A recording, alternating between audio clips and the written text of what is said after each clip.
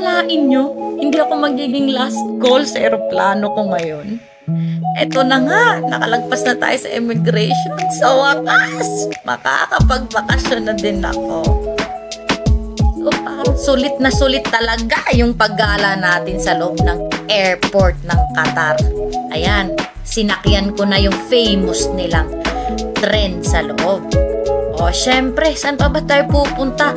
Kundi sa famous din nilang garden sa loob ng kanilang airport. Ayan naman talaga guys, nakaka-relaxing. O, diba? O, ito tong mga puno yan. Tinanim talaga nila yan. Saka talagang as in, sobrang aliwala, sobrang tahimik. Di mo nga akalain nasa loob ka ng airport. O, hagdan-hagdan pa yan at pa bridge-bridge sa itaas. Mm. May pa waterfalls pa. Tsaka hindi ka mawawala, mahanap mo kagad yung gate mo.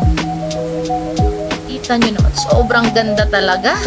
Na-amaze ako dito, sobra. Hirap, no? Pag matagal-tagal ka talagang hindi nakapaglakbay. Matagal mo di hindi makikita at malalaman ko anong merong bago sa air. Yan. Selfie-selfie, nagsosolo si Inday. so, eto na nga guys, papunta na ako sa gate. Kape-kape. Nagutom si Inday. Kain na muna habang nag-aantay ng flight. This is it. Papasok na tayo. Ayan na, papunta na tayo sa aeroplano ko.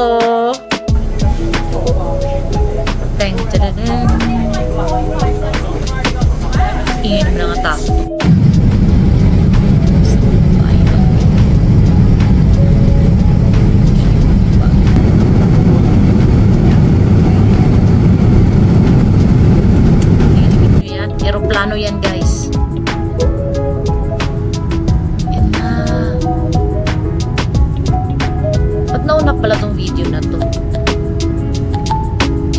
Take off eh.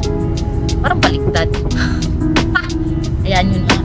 Basta ganun din yan. Basta video. Memory. Ipal. First day. Pero hindi siya first day guys. Balik. Yung aking arrival. Arrival day mamarkahan ko yung kalendaryo. Minsan-minsan lang to. Solo traveler. Ano nga bang date ngayon? 2023. Ah, diba? Ay, nako. Excited na ako. Ayan, sa sobrang excited, nakatulog na. Kunwari lang. Kenny. Ito nga pala yung food ko, guys. Ayan, nabusog na. So, happy tummy, happy si Dre. sobrang, sobrang hindi ko ma-explain yung feeling.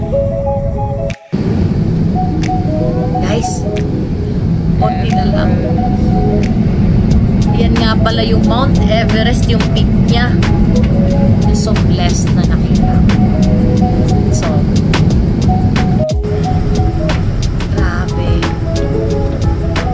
grabe talaga. Sobrang ganda. Wala akong masabi. Ito na, nanginginig na yung tuhod ko. Nagiging mixed emotion na ako. So guys, nasa visa counter na tayo. And this is it! yes! So I got my visa and I just came out from the immigration of Nepal and they were so welcoming. And now I'm going to take my luggage.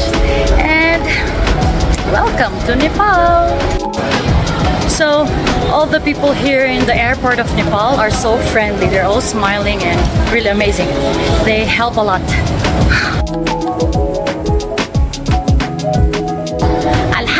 I made it here to Nepal.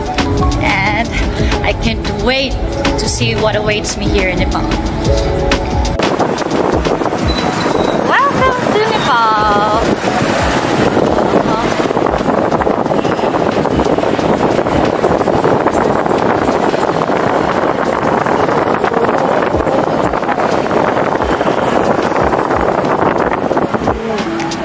And this is the road.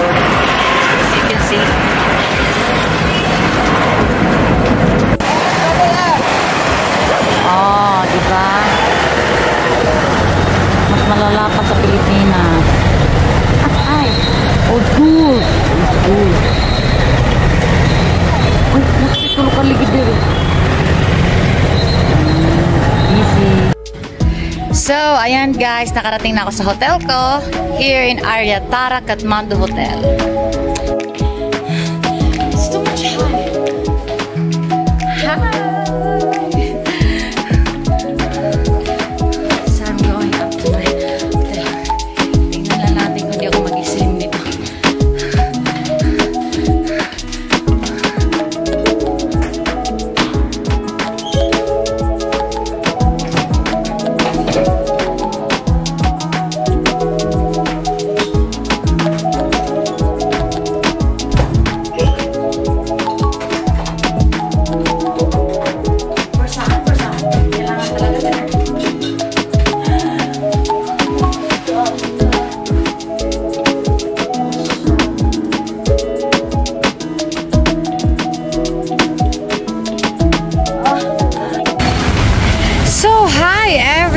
Nepal welcomed me with a wonderful weather.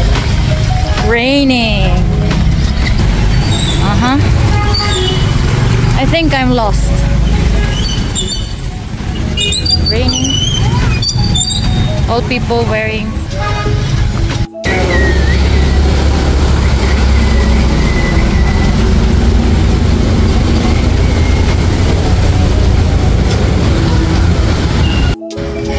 what's funny, guys? It's like whenever I ask for help for a location, people thought that I'm a Nepali.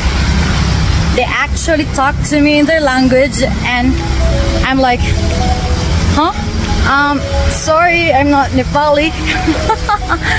but really, all of them are smiling and they help a lot. Um, if they see you like having a hard time of looking for a location, they will come over and they will tell you like, "Do you need help?" Well, that's that's really nice thing about them. Uh huh. And so this is a fried ice cream. Let's see from inside. Iba. Mashallah, mashallah. Bismillah, mashallah. And let's give it a try.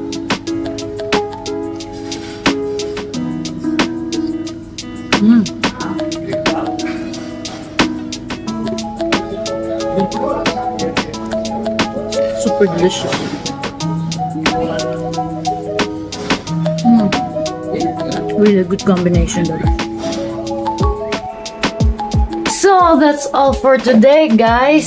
Ayan, sobrang pagod at bersosa po ang inyong munting kaibigan. Paano ba naman po kasi? Sa'yo ka nang mata, girl. Aron di mabiyaan sa aeroplano, lantang iPads. Anyways, tomorrow is another day. Ngayon, magpapahinga na po muna ako kasi sobrang pagod po ako talaga. Naglakad din po kasi ako sa kalapit lang naman na area.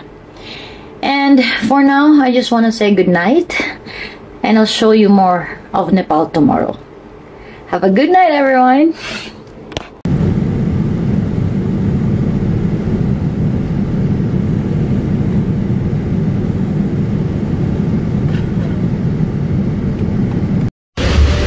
So my shoes so much dirty.